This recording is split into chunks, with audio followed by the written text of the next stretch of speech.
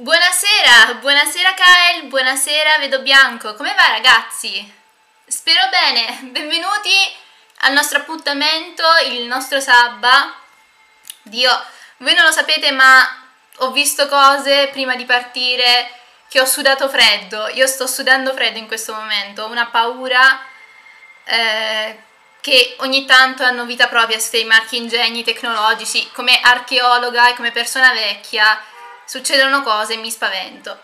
Comunque, buonasera a tutti ragazzi, serata eh, storica, archeologica, serata di battaglie, battaglie navali, eh, serata di eh, battaglia di Lepanto, uno degli eventi, possiamo definire, più importanti eh, per quanto riguarda la storia e il conflitto tra cristianità e ovviamente mondo musulmano. Siamo ai livelli che questa battaglia è stata ripresa e ristudiata soprattutto eh, con il fatto che ovviamente c'è stato il fenomeno dell'11 settembre, sapete tutti, e da quel momento in poi c'è stato un boom, una riscoperta di questa battaglia che a mo' di guerra persiani contro greci è, è ritornata con l'idea cristianità versus mondo musulmano, est verso ovest, eccetera, eccetera. E quindi ho detto bella, dai, battaglia così proprio frizzante che piace a tutti. Eh, sì, le solite cose, Kyle, esattamente. Eh, dai ragazzi, lo so che è un, il classico dei classici, però andava fatta, cioè, che fate? Ve ne private della battaglia di Lepanto? Non si fa.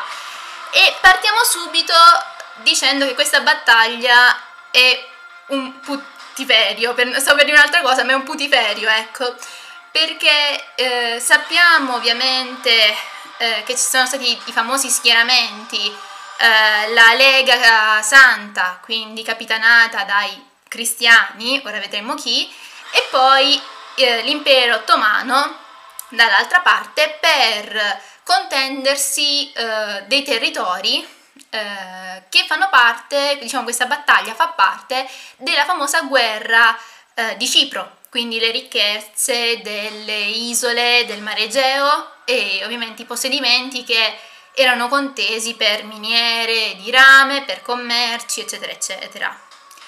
Allora, cosa succede? Eh, la guerra eh, che tutti ricordano appunto fatta dalla Lega Santa, ma in realtà è spinta tantissimo da, da Venezia, dalla Serenissima di Venezia, inizia di domenica, perché giustamente io ovviamente la metto a battuta ragazzi, ma voi immaginatevi il mood, entriamo in un ambiente serio, siamo in una domenica, siamo il 7 ottobre 1571, c'è vento, sei su una nave, eh, c'è fermento perché tra virgolette anche eh, la festa della Madonna del Rosario, quindi ipercristiani, eh, tutti pronti con le armi, il Papa ovviamente ha dato l'indulgenza plenaria a tutti coloro che combatteranno per questa ennesima guerra santa. Uh, abbiamo personaggi di spicco uh, perché oltre a, ai due schieramenti abbiamo personaggi di un certo peso e la cosa simpatica è che come si disporranno principalmente per andare a Lepanto le forze cristiane? Le forze cristiane si dispongono in un assetto che è quello a croce, ragazzi, perché siamo i soliti e tecnicamente anche i nostri amanti amici turchi fanno lo stesso, perché si dispongono in mood mezzaluna.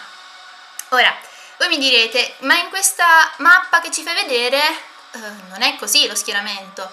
È vero, ma perché qua siamo in una mappa in cui eh, i due eserciti si sono già incontrati. Quello che vi sto raccontando io è il pre.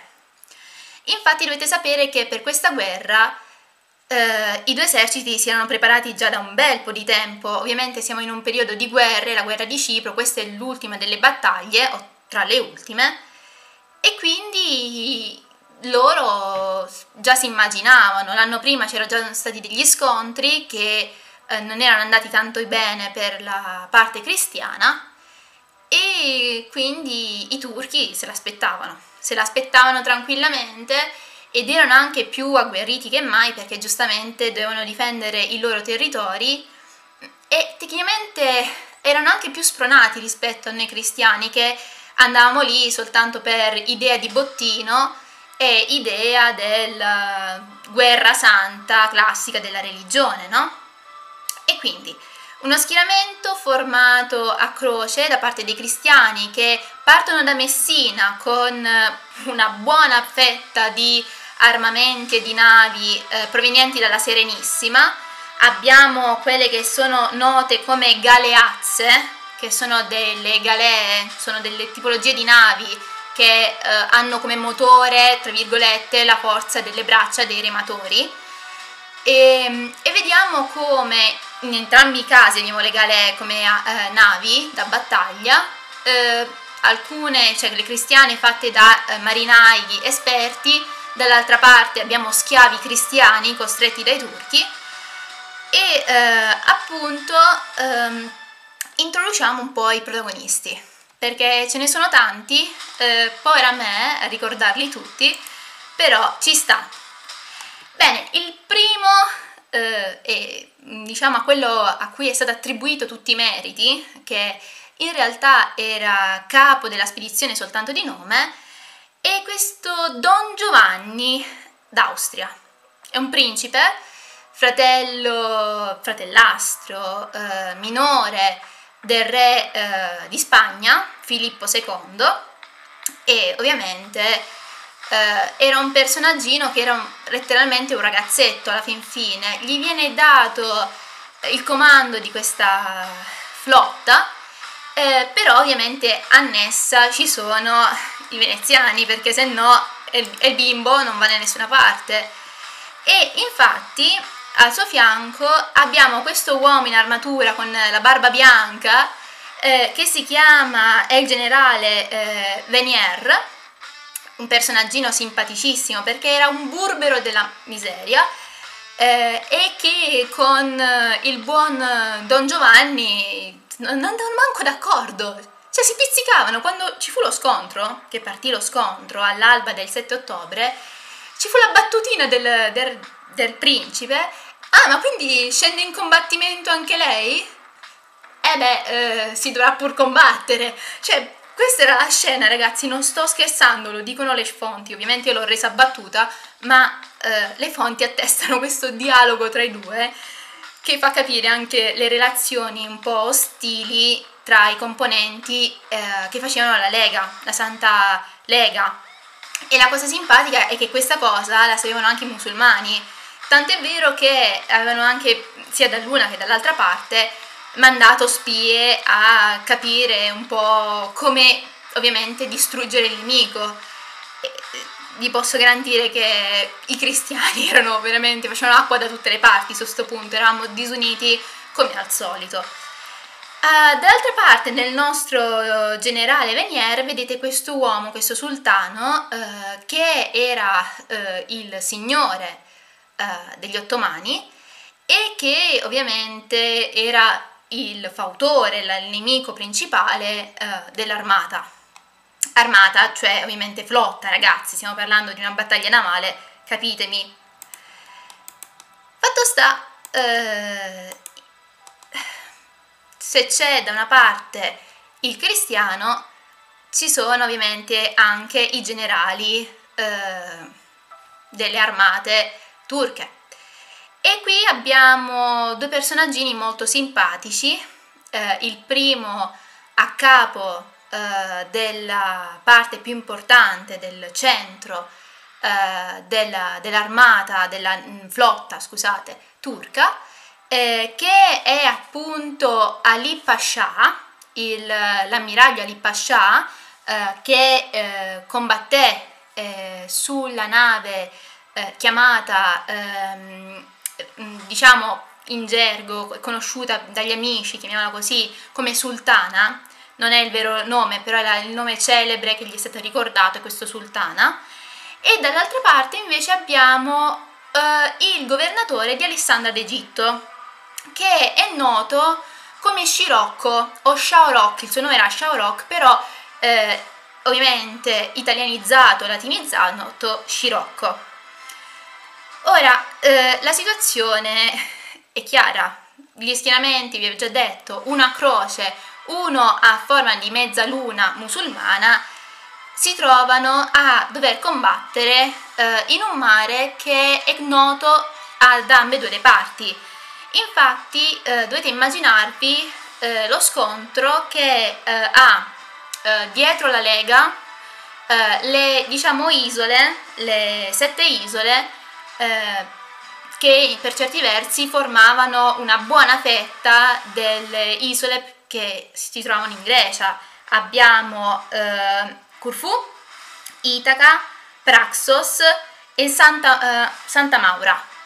Mi sono scritti i nomi perché non mi ricordavo tutto, però per esempio ve ne cito quattro per dirvi un po' cosa si avevano alle spalle i nostri condottieri, mentre dall'altra parte, eh, alle spalle della flotta eh, turca, avevano lo stretto dei Dardanelli. E proprio nello stretto dei Dardanelli si trovava una roccaforte. Una roccaforte con un mega bastione che era conosciuta ed è ancora conosciuta come Lepanto. In mezzo al mare, no? Dici così, da nulla, un bastione. No, in realtà non è così. E abbiamo questa appunto roccaforte che eh, guardava dall'alto appunto la flotta turca eh, era una delle roccaforti turche e sappiamo che era anche ben, tra virgolette, tutelata perché eh, in questa zona, eh, per accedere a, all'Epanto letteralmente, c'erano tre mega scogli che eh, ovviamente se una nave qualsiasi, non conoscendoli, vi fosse andata a sbattere, bella, giusto? Ci si va ad arenare. E eh, questi tre scogli eh, che sono noti come curza, curzolati si vede eh, in questo, proprio in quest'alba del 7 ottobre come sono tra virgolette i primi a notare eh, l'assalto. La situazione è a dir poco eh, come dire epica perché si vede la flotta eh, ovviamente cristiana che appunto a forma di croce con eh, una avanguardia eh, di poche navi, eh, cioè immaginatevi questa croce, ok? Questa croce era composta eh, principalmente da cinque parti. Avevamo la testa di punta, che era l'avanguardia, e poi ovviamente vi erano gli altri settori. Quindi, testa di punta, avanguardia, abbiamo eh, 7 galee, numero piccolino, i numeri andranno a crescere ovviamente, poi al centro abbiamo il gruppo noto come La Battaglia, capitanata da quel Don Giovanni d'Aragona, di cui, sì d'Aragona, da, d'Austria, scusate, lapsus, eh, di cui si parlava prima, questo ragazzetto e ovviamente lì vi era anche Venier, erano il centro, il cuore dove stavano tutti i capi, per capirci. E diciamo che era composto da 70 galee e 7 galeazze, che ora vi dirò anche cosa sono le galeazze, tranquilli. Poi ovviamente vi erano le due ali, la croce, immaginatevi sempre la croce, quindi lato destro e lato sinistro. Per quanto riguarda il lato destro avevamo intorno a una cinquantina di galee e eh, dovete anche immaginarvi, anche in questo caso, due galeazze. Le galeazze erano veramente le navi più forti in questo scontro, mentre dall'altra parte, eh, questo sul lato destro, sul lato sinistro, ve ne erano tre in più, quindi 53 più 2.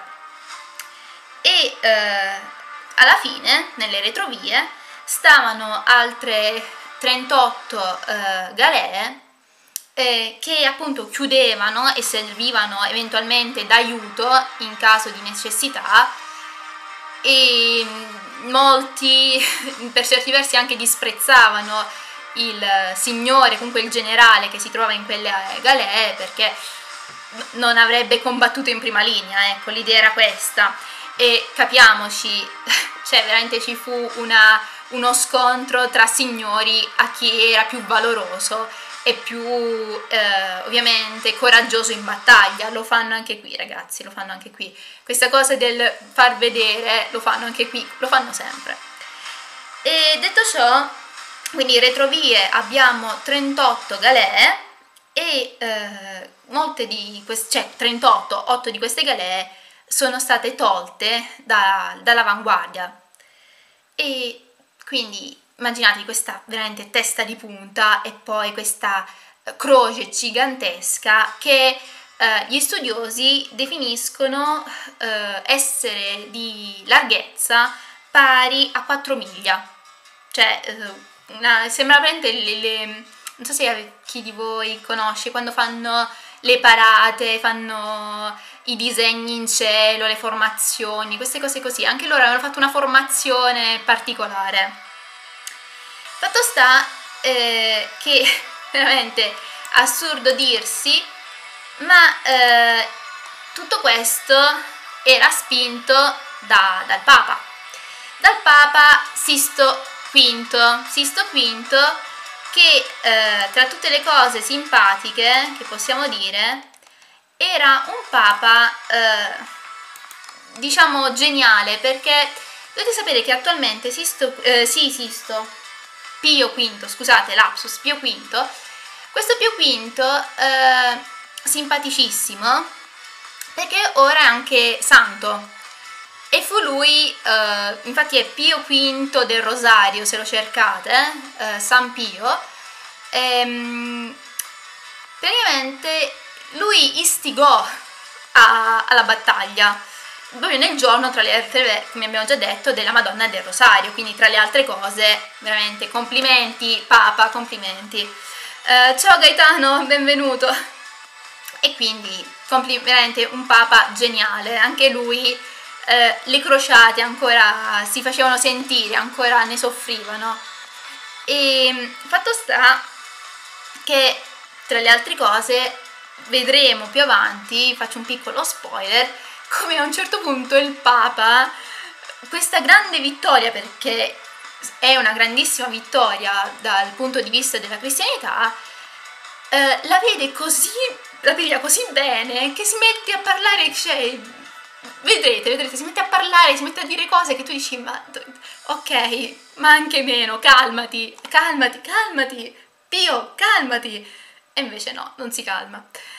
Comunque, ovviamente eh, vi ho già detto che il comandante della missione, il generale, il ragazzetto che comandava tutto eh, e che nei libri eh, di solito mh, mm, si prende tutti i meriti, ma in realtà eh, l'unico suo merito morale è essere voluto um, andare in guerra, a fare questa guerra, è il fratello del re di Spagna. E qui abbiamo la sua bella faccina di questo re, eh, Filippo II, che tecnicamente parlando, dopo la vittoria del fratellastro, se la piglia anche a male, se la piglia a male, perché ah, apparente gli ha, l'ha adombrato. Cioè ci rimane malissimo. Cioè proprio, proprio i bambini, bambini, bambini, ovviamente razza umana, io la metto sempre sullo scherzo, però capite la situazione quando vi dicevo la cristianità, la Lega Santa era divisa anche nelle sue parti interne, cosa che gli ottomani provarono anche più volte a eh, usare come loro chiave per rompere le file. Mica stupidi quindi si diceva scontro, parte lo scontro. Ovviamente eh, la flotta cristiana a croce, la, la, flotta musulmana a mezzaluna, mezzaluna che vi ho già detto essere capitanata al centro da eh, Ali Pasha, eh, eh mentre con la sultana con 86 galee, eh, al lato destro della mezzaluna eh, si aveva invece il governatore di Alessandra con 60 galee e al lato sinistro invece ne avevamo 96. Comunque bei, numeri, eh ragazzi, bei numeri. E, se non che poteva andare lui se ci teneva tanto, ma lui non voleva perché per lui era una perdita di tempo.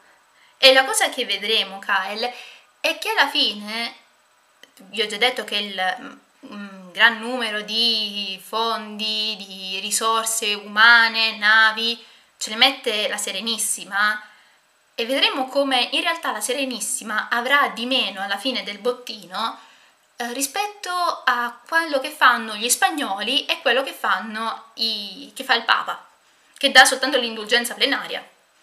E ovviamente l'ho fatto con la mano sinistra, quindi per se c'è qualche cattolico, eh, tra le altre cose sarei anche io mezza religiosa, eh, non se la pigliasse per piacere. Vabbè, qui abbiamo l'immagine dello scontro, uno scontro che dura intorno alle 5 ore ragazzi, quindi immagini, immaginatevi dall'alba fino a mezzogiorno, questi che si ammazzano, non avevano nulla da fare, non avevano nulla da fare. E com'è che va? Va che, come vi ho già detto, le galeazze, eh, che erano queste armi che vi faccio vedere meglio perché giustamente non ve le ho fatte vedere bene prima, no? Ho sbagliato. Eh, qui, vedete queste navi, queste sei navi eh, sul lato sinistro? Della... Queste sono le, galera... le galeazze, sono navi più grandi ed erano anche eh, queste fornite da Venezia, eh, Duono, eh, il, questo signore di, di Venezia, nonché eh, personaggio presente in lotta eh, durante l'Epanto, le aveva fornite ed erano l'asso nella manica eh, della Santa, comunque della Lega Santa. Perché? Perché avevano un botto di pezzi eh, di armamento, cioè erano fornite di cannoni, spingarde, di tutto, pezzi di artiglieria di ogni sorta, principalmente per darvi eh, dei numeri, in 6 galeazze avevamo 56 pezzi di artiglieria grossa, di cui 12 a poppa, per ogni nave 12 a poppa, 12 in prua e 16 al lato. Quindi erano mega navone piene zeppe di armi. Bastava uno e ti distruggeva mezzo mondo. Cioè, scusate ovviamente i termini eh, poco professionali, però ecco, erano dei tank. Uh, parlando di videogiochi, erano dei tank. Cioè, erano belli impostate. E uh, a questo punto c'è la cosa simpatica, perché giustamente gli ottomani non, si, non conoscevano queste tipologie di galee, perché sono galee più grandi, quindi sono navi a remi ma più grandi. E pensavano fossero armi, cioè armi, fossero navi con eh, al massimo, mm, che vi so dire, oh beh, saranno mercantili, saranno eh, navi che, boh, carico, saranno da carico, che, che cosa vorrei che servano? Invece servivano, invece servivano. E poveri, poveri turchetti, non, non se le immaginavano, ci sono rimasti male. E scusate, ritorno al Papa perché ho fatto un errore, gaff, ecco. E quindi buona parte anche dell'esercito turco venne buttato giù da queste galeazze, che poi, come avete visto nell'immagine, si spinsero davanti a proteggere eh, le navi più piccole, tra virgolette. Erano, sì, erano navi da, eh, ma anche le galee, cioè sono navi che hanno piccole vele e per lo più usano la forza motrice eh, delle braccia umane, Kyle. Non, eh, non, sono armi, non sono le trireme, ok? Eh, con le mega vele eh, eh, greche o romane, eccetera, eccetera. Sono navi diverse, vele piccole, forza motrice, braccia umane e, e via. Sì, sbagliarono a riconoscerle, mh, mm, non lo so, perché anche loro comunque usavano le galee, quindi una, vedere una galea più grande, non lo so, non lo so, ovviamente non, non sono un'archeologa eh, di questo genere, non, faccio, mh, mm, non parlo di armi o di armamentari, io ovviamente vi parlo di una vicenda storica eh, ammetto la mia ignoranza su questo punto, però penso che avendo anche loro le galee e avendo anche loro eh, mm, cioè vedono una, una, cosa più grossa delle loro navi con più uomini. Mm. Forse sono anche queste navi da, per combattere? Non lo so, non, ovviamente non so, non posso sapere cosa avevano in mente i turchi, né ovviamente eh, la controparte cristiana.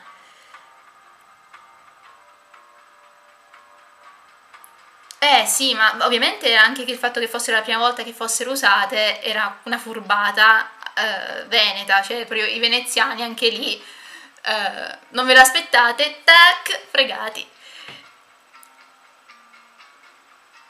Navi che sì, erano, erano a remi, erano navi eh, che avevano una forza propulsiva di propulsione, chiamava così, comunque una forza motrice che era a braccia umane, non era col vento.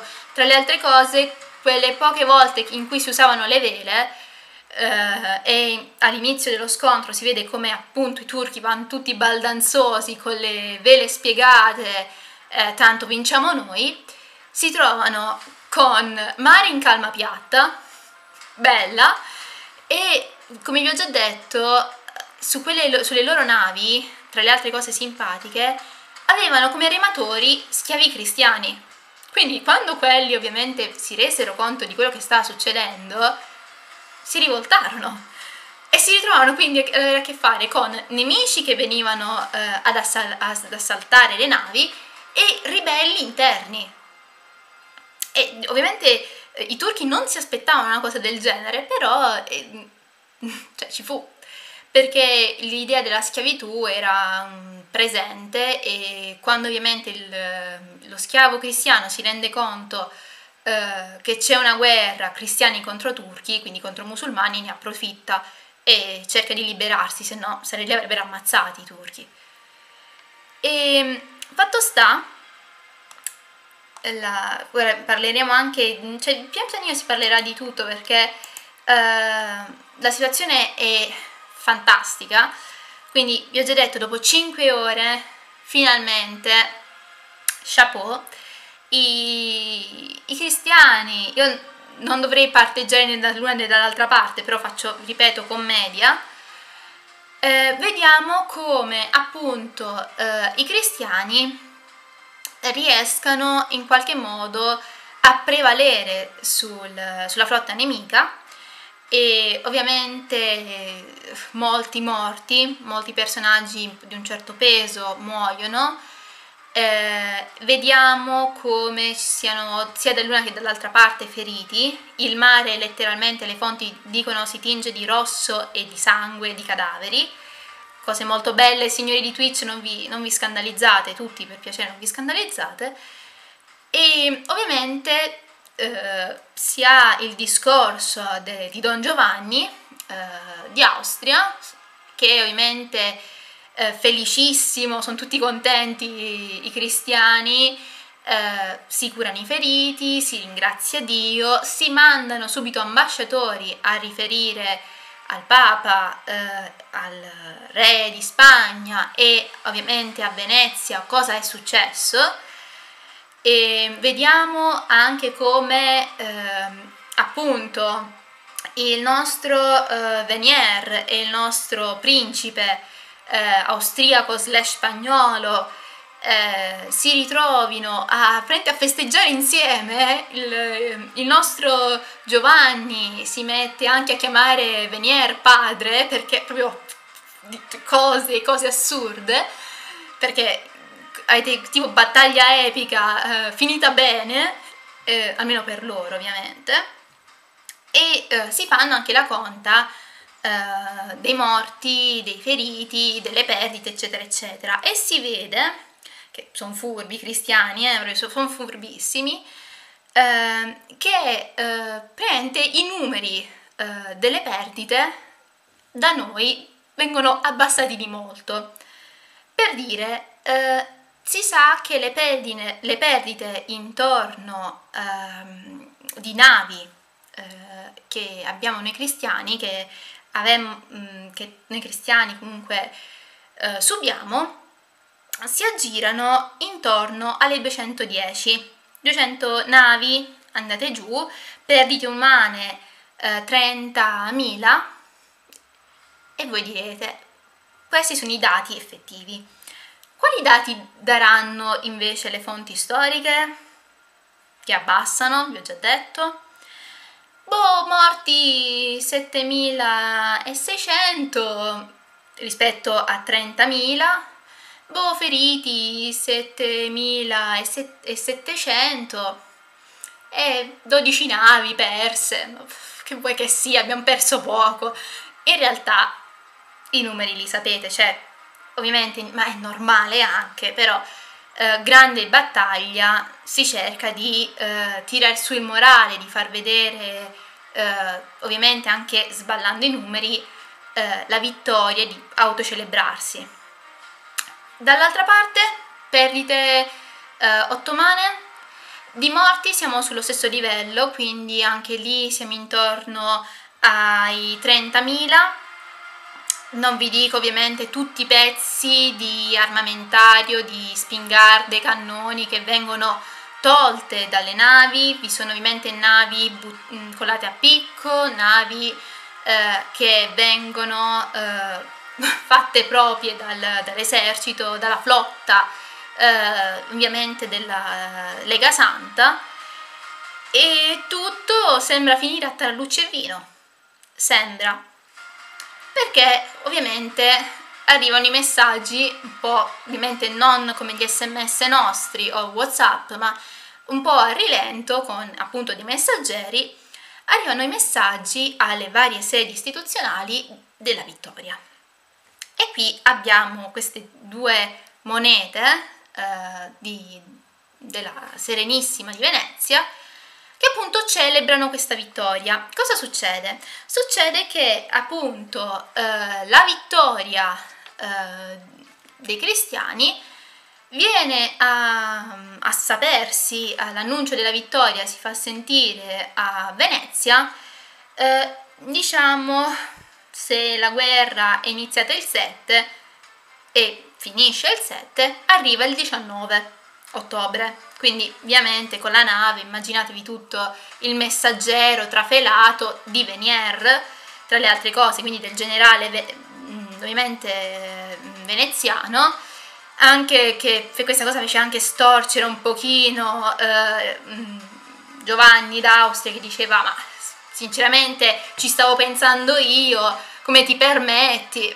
Sempre dovevano litigare quei due e ehm, ovviamente eh, l'ambasciatore o comunque il delegato di Venier riferisce al doge e ovviamente alla corte eh, del doge cos'era successo.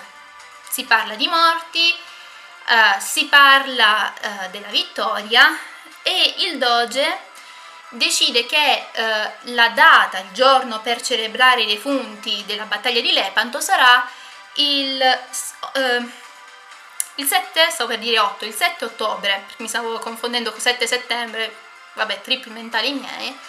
Quindi eh, abbiamo il 7 ottobre, eh, celebrazione di appunto questa battaglia, che è anche, la, ricordiamo, la festa della Madonna e eh, del Rosario, e la festa di Santa eh, Giustina, che si scopre essere anche la patrona dei marinai, comunque eh, della marineria di, di Venezia e eh, tutti coloro che eh, i giustinianei, sì, i giustiniani, ora giustiniani mi sa che si dice, sì, giustiniani, scusate, ehm, che hanno appunto combattuto nella battaglia di Lepanto, si fa il titolo di Cavalieri di San Marco. Tra le altre cose, per celebrare in maniera proprio formale, che rimanga nella storia questo avvenimento, vengono fatte queste due monete, queste due giustine, per proprio ricalcare il nome, eh, che eh, l'una mostra appunto la Madonna eh, in tutta la sua gloria, eh, l'altra è a fianco, io parlo della prima ragazzi, e dall'altra parte abbiamo il Doge e San Marco, mentre nell'altra abbiamo sotto, abbiamo di nuovo il Doge e San Marco, e poi la scritta che appunto dice in breve nell'anno XYZ vi è la vittoria contro uh, i turchi. Non, non mi chiedete, non, come al solito sapete che ho fatto l'intervento, quindi non mi chiedete di tradurvela perfettamente, però in breve in succo è questo.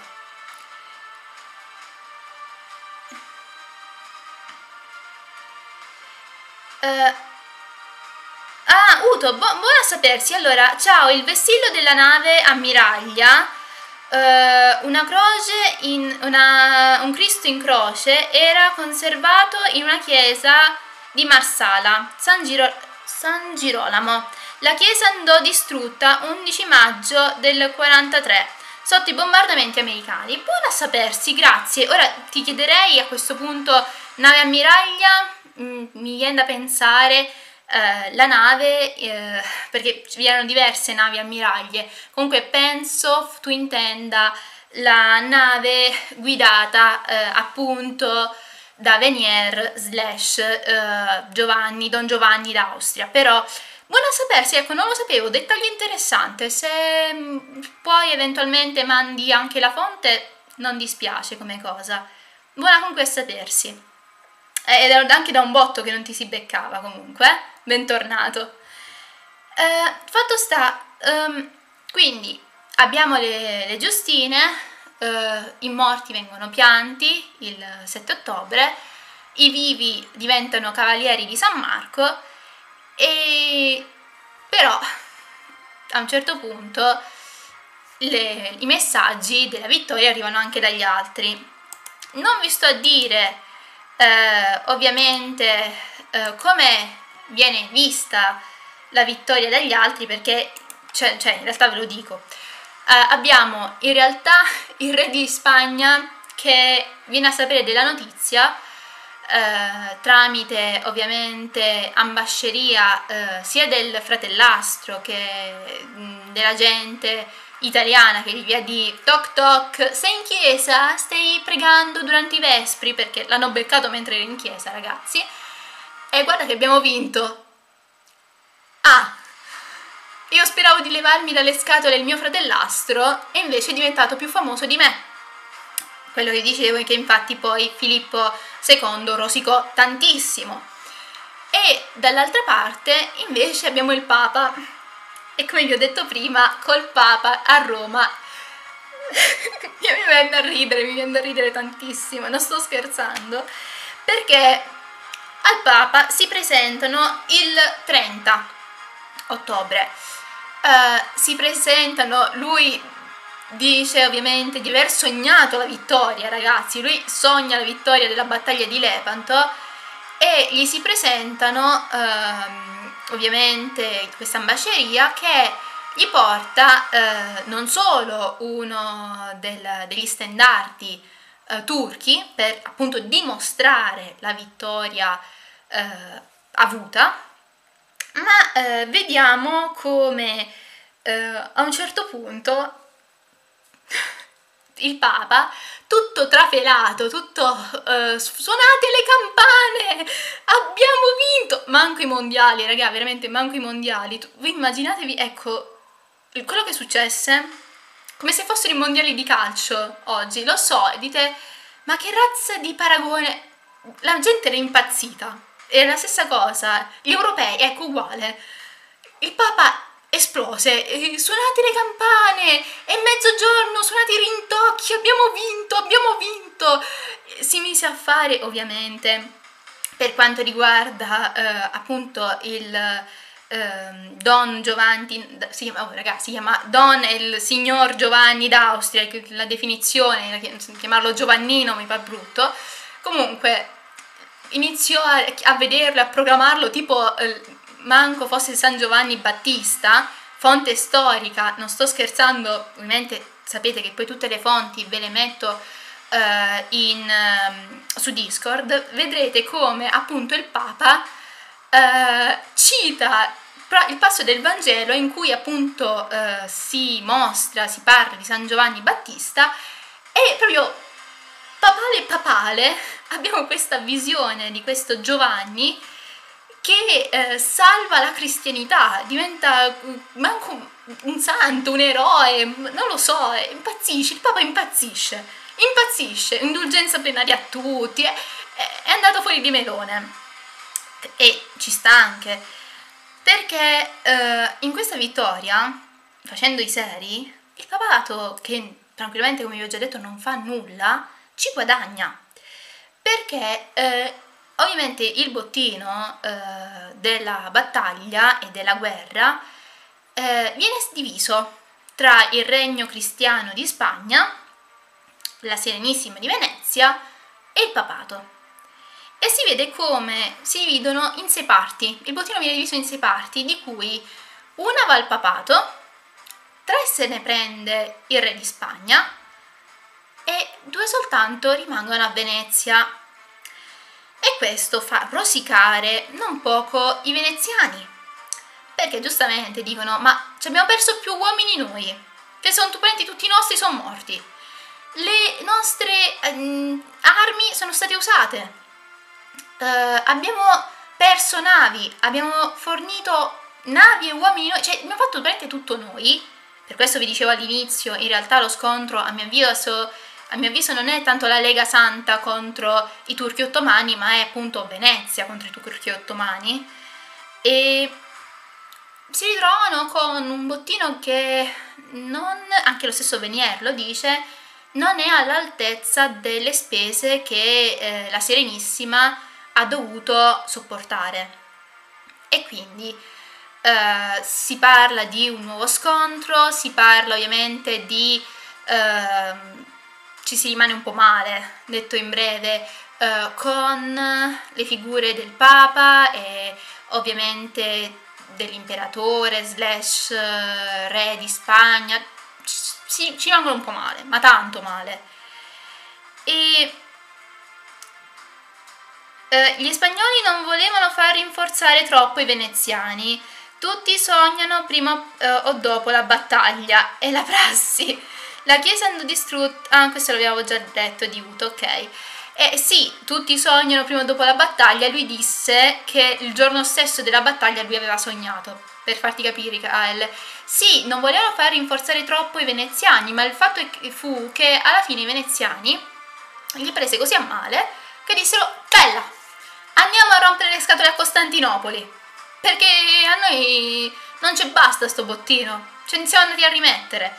Quindi per farti capire, e ovviamente, come ho, ti ho già detto, vi ho già detto, ci rimasero così male eh, che i rapporti divennero più aspri.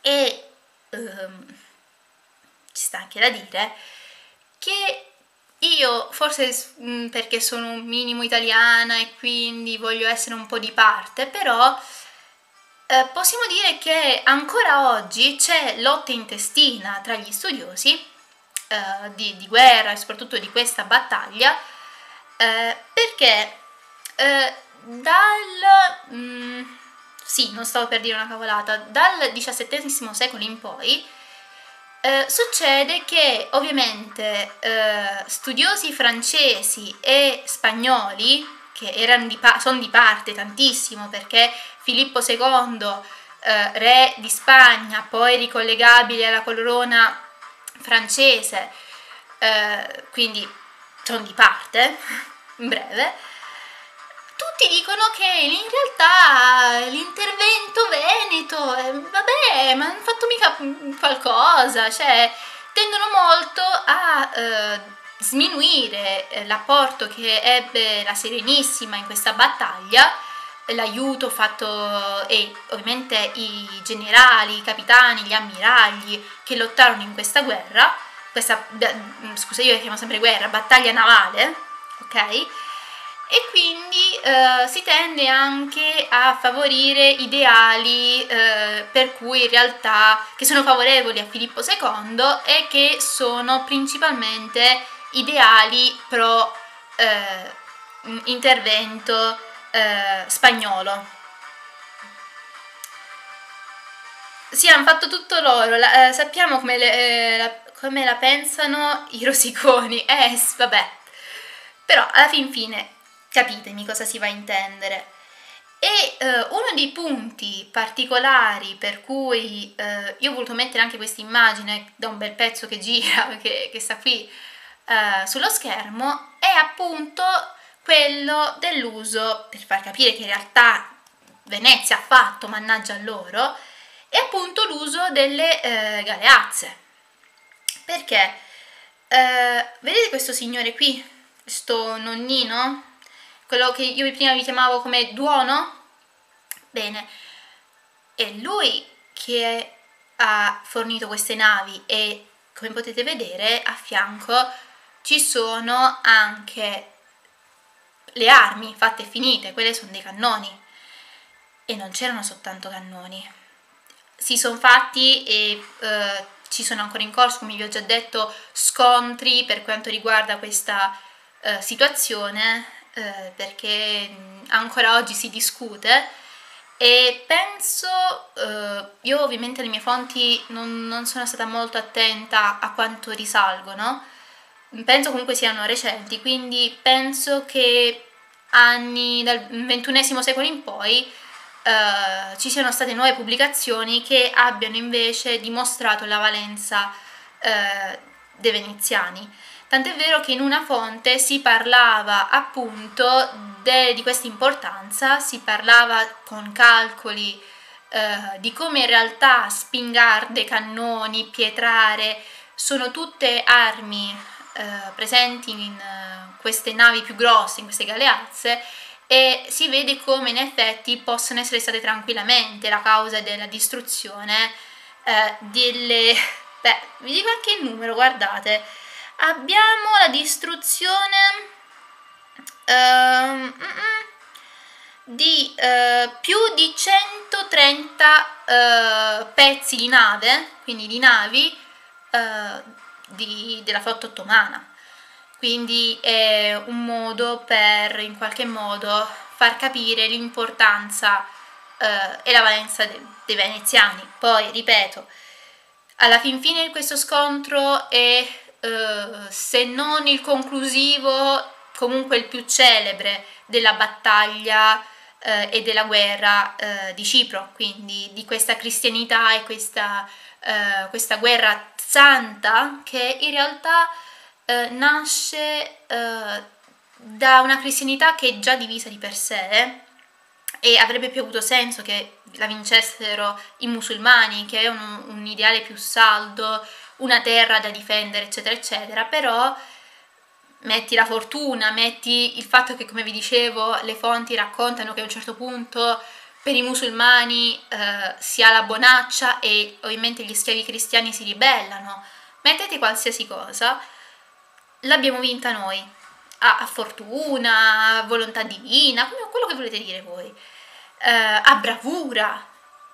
Eh, e quindi giustamente si deve essere onesti con tutto, il buon eh, Don Giovanni eh, non sarebbe riuscito, a mio avviso, perché era comunque un ragazzetto messo a, dal fratello in una spedizione navale, sperando probabilmente che morisse, eh, messo lì, mm, ora non vi so dire quanti anni potesse avere eh, questa figura, ma eh, se non fosse stata per uomini come Venier, Colonna, eh, Duono, eccetera, eccetera, immaginatevi che le Folotta era composta da veneziani, napoletani, siciliani, sardi, genovesi, quindi l'intervento italiano, l'intervento della Serenissima non, ha, non può essere discusso assolutamente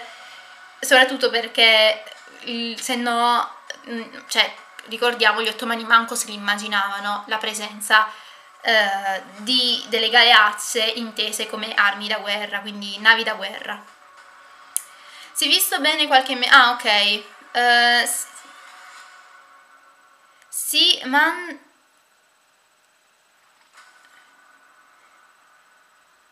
Sì, esattamente, la, il fratello l'ha mandato, come dice Kyle, l'ha mandato a Don, Gio, a questo Don Giovanni d'Austria, l'ha mandato a mo' di vai a vedere chi bussa in, un, in una scena horror, vai, vai a vedere, apri quella porta, in, non aprite quella porta. Eh, però ovviamente mh, la cosa è che comunque io poi fa rosicare che il fratello diventa anche più famoso di lui e c'è il Papa che poi lo paragona a San Giovanni Battista, cioè, beh, mio caro Filippo, mm, mi sa che devi rivedere le tue priorità, citando Harry Potter eh, nel caso di Hermione, hai un po' sbagliato, un po' sbagliato.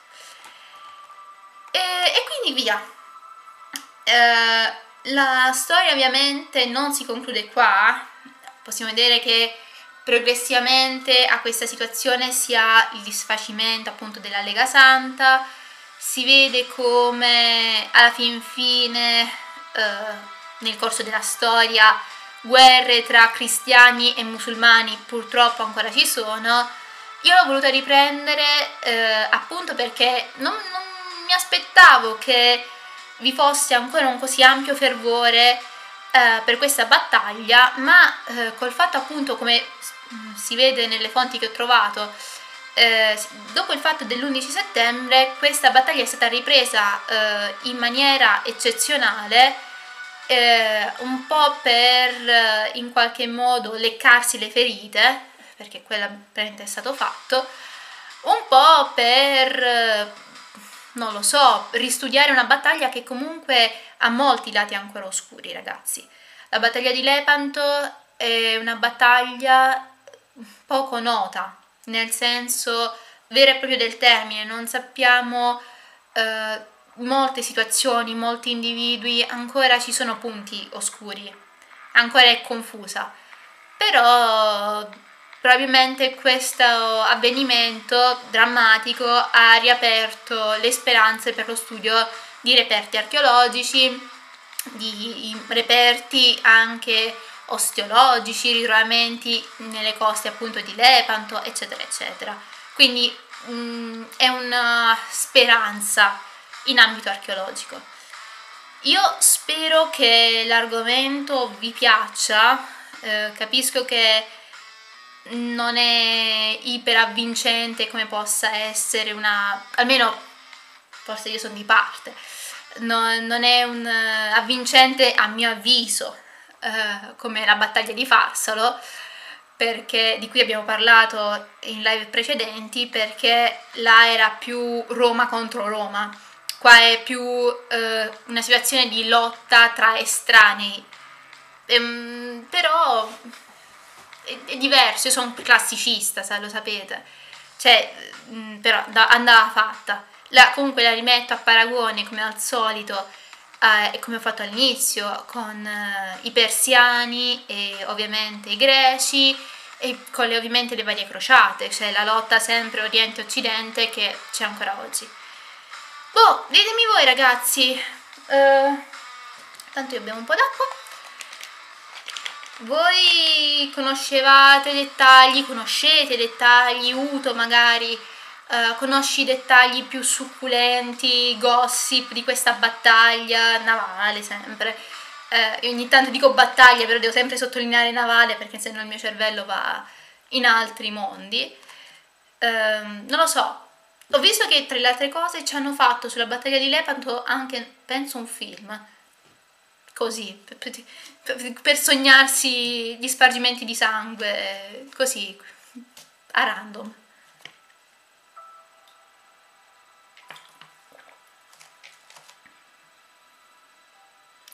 Ah, vabbè, ci sta Gaetano, alle medie si studia la battaglia di Lepanto, è abbastanza importante. Mi ricordo che a me, eh, cioè, ebbi modo di studiarla pure alle medie, alle superiori. Sì, um, ci sta. È una di quelle battaglie che, tra le altre cose, io avevo, ne avevo parlato con Kael, perché abbiamo avuto modo di parlarne un pochino, io volevo fare una serie di live sulle battaglie, del, anche magari più celebri, eh, dei vari periodi storici. Avevo iniziato con Farsalo, poi volevo farne una medievale, una rinascimentale, eccetera, eccetera. Mi sono beccata Lepanto, ho detto, mmm, Lepanto, Lepanto, e quindi è, è tutto nato da qui.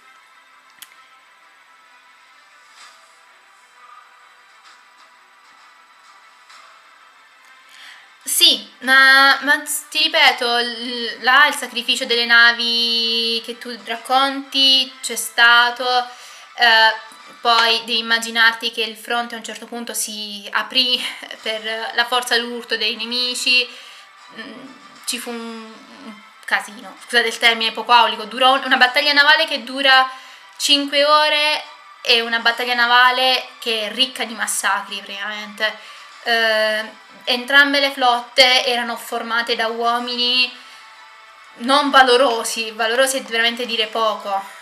Mm, ho letto che a un certo punto eh, nelle fonti nella, e anche nella documentazione che ho trovato, si, a un certo punto veramente come ho già detto si faceva gara a chi era più valoroso. E, per esempio, se non sbaglio, eh, non ricordo se Venier o San Giovanni, riuscì a prendere la testa di eh, Ali, eh, dell'ammiraglio Ali, non voglio dire cavolate, era Ali, uh, ah, Ali Pasha, e, non avevo paura di dire una cavolata, e eh, poteva lasciarla, poteva lasciarlo vivere, gli tagliò la testa eh, e la mise su una picca pur di far spaventare a morte eh, ovviamente la, il resto della sua flotta, del, degli altri ottomani, che vedendo questa cosa si, si era presa ancora di più, si incavolarono ancora di più. Cioè, eh, penso sia lì Pascià, ora non, mi pare di sì. Però, per farvi capire, cioè, la situazione fu così violenta. Sì, peggio dei vichinghi, esattamente. Ma là era la figura del vichingo e la figura del boh, senti, vado a depredare. Sono pirati. Eh, per certi versi i vichinghi sono pirati che poi eh, si civilizzano, vanno a conquistare i territori, si mettono su famiglie, eccetera, eccetera. Qui è proprio una guerra per il bottino. Alla fin fine Mm, tutto è stato fatto con all'inizio c'è anche la preghiera, la soluzione plenaria, il Papa, tutta la cosa della guerra santa, ma in realtà è ricerca di bottino. Tant'è vero che i veneziani, appena si rendono conto che eh, la situa non gli ha dato il giusto compenso, dicono: Ah, bella, facciamo un'altra guerra perché non ci abbiamo guadagnato nulla. Eh, di sicuro si. Eh, Sì, ehm, di sicuro si sa che finì su una picca, in realtà l'ordine era di catturarlo vivo, esattamente. E non è chiaro se è stato suicidato o morto in battaglia, no, uh, venne ucciso, venne ucciso, decapitato. E la cosa, è una cosa, cioè immaginatevi la scena, la cioè sempre nelle fonti, io ora vi vado a citare tutti i pezzetti che di fonte che mi ricordo, eh, a un certo punto dello scontro eh, c'era così tanto fumo, eh, l'aria era così tanto nera che non si riusciva neanche più a capire chi era buono e chi era cattivo. Cioè si andava veramente a un certo punto distinto. Cioè ehm, le navi turche si trovarono in mezzo a una polveriera e si racconta anche che appunto la sultana, mi pare, a un certo punto si trovò incagliata su due fronti da due navi cristiane. Stava andando ad attaccare eh, quella di Venier, per, per, capirci, si ritrovò a Franco e a, Giu, a Luca. Franco e Luca ovviamente sono nomi fittizi, però cioè si trovò così, di tipo Wood! Perché a un certo punto così tanta gente urla, è ovviamente una situazione di guerra però in mare, tutto a Lepanto, cioè, infatti io spero che trovino anche reperti più sostanziosi di questa battaglia, sarebbe molto molto figo. Vabbè, ai ai, io immagino le cose, ma anche le raffigurazioni che abbiamo di questa battaglia sono epiche. Se mi sbaglio c'è uh, una raffigurazione al Vaticano che è tipo tutto un muro in cui c'è anche, dalla parte cristiana c'è anche il Cristo che fa scappare eh, le figure di Maometto, eccetera, eccetera, cioè è proprio bello, da, ovviamente tutto dall'alto e poi lo scontro in basso. cioè, epico, epico, assolutamente epico. Per, per questo, vai. Comunque, oh dai, la vecchiaia si fa sentire. Va bene, va bene. Bimbi, allora, com'è?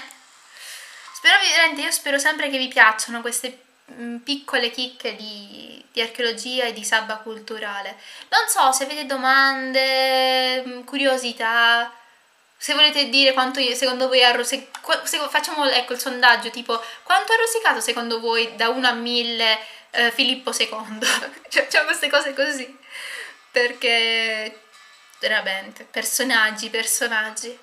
Il Papa che cita San Giovanni Battista, che si mette a fare il tifo manco fosse i mondiali. E, ehm, non lo so, sono a vostra disposizione. Se no si, si chiude, però boh, ditemi voi. Io come al solito sono qui. tipo, tipo Madonna, 10.000. Eh, ma ci sta, così impara. Vedi, mandi tuo fratello a morire e poi... Ovviamente, mi raccomando. Poi dicono che sono una brutta persona, però ci sta. E, e quindi via. Vabbè. Ai ai questi fratelli maggiori. Che poi, ripeto, fratellastri, cioè io lo chiamo fratello maggiore fratello minore, ma in realtà erano fratellastri, quindi c'era anche un motivo per l'eredità del trono, eccetera, eccetera.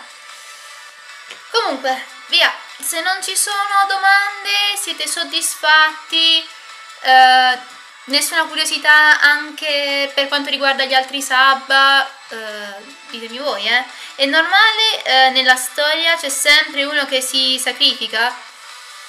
Eh, sì, eh, secondo me sì, perché l'idea del sacrificio è una classica cosa eh, che il, chi si sacrifica è un eroe, quindi c'è sempre qualcuno che ha l'idea di sacrificarsi per, per il, muore uno per salvarne 100.000, è, è un classico, è proprio un è una cosa normale. Di solito l'uomo è un individuo me ne freghista su questo genere di cose, Gaetano, però eh, quando ovviamente si mettono in mezzo il fatto che puoi essere divinizzato, puoi essere visto come un eroe, puoi, cioè l'uomo di suo non vuole morire, non vuole sacrificarsi mai, non gliene frega nulla dell'altro.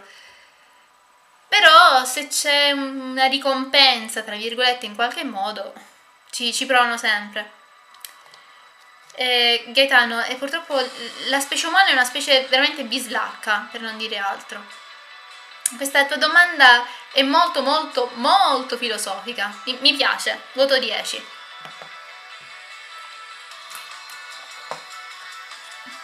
Mamma mia. Va bene bimbi, va bene, dai.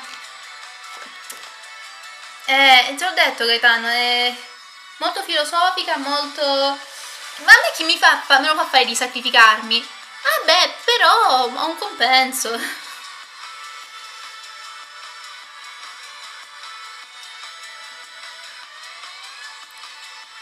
Sì, esattamente, ma mm, l'idea è, mo è, molto spesso quando si sacrificano parti di flotte o eserciti, eh, come dici tu, Kael, lo si fa anche senza dirlo a quella parte di flotta esercito, cioè tutto poi in quel caso è ancora più simpatico perché decidono tutti uh, i piani alti e quella gente poi si trova a essere massacrata.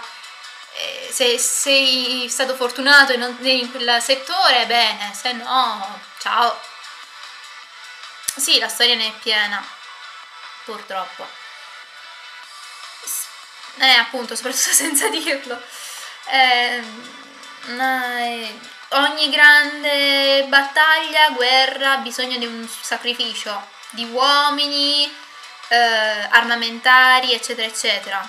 Che sia lo scontro tribale tra bande del, del Neolitico e che gli età del rame fino ai giorni nostri, se non c'è un sacrificio di sangue da pagare, molto brutto da dire così, però in effetti è vero, ehm, non si può parlare di guerra. Di solito le guerre non sono eh, senza almeno un morto, non, so, non c'è una guerra senza almeno un morto.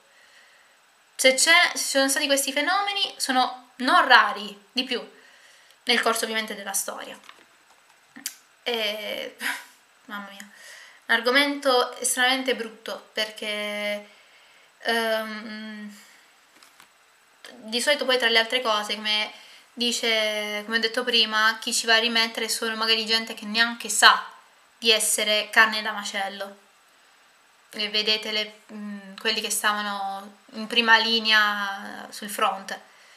Però non parliamo di, questo, di questa parte di storia perché per me è un tasto dolente. Io non parlerò mai del XX secolo, ragazzi, premetto questa cosa qua, o se ne parlerò non parlerò delle guerre perché sono tasti dolenti per me e non mi reputo, cioè mentre qui vedete scherzavo, facevo la scema, lì entrerei ad essere di parte e no, non, per uno studioso ent- di entrare di parte è sbagliato, assolutamente sbagliato, quindi evito assolutamente quella parte di storia, diate pazienza, però ehm, cioè, ci, ci sta a essere professionali per quello che si può essere.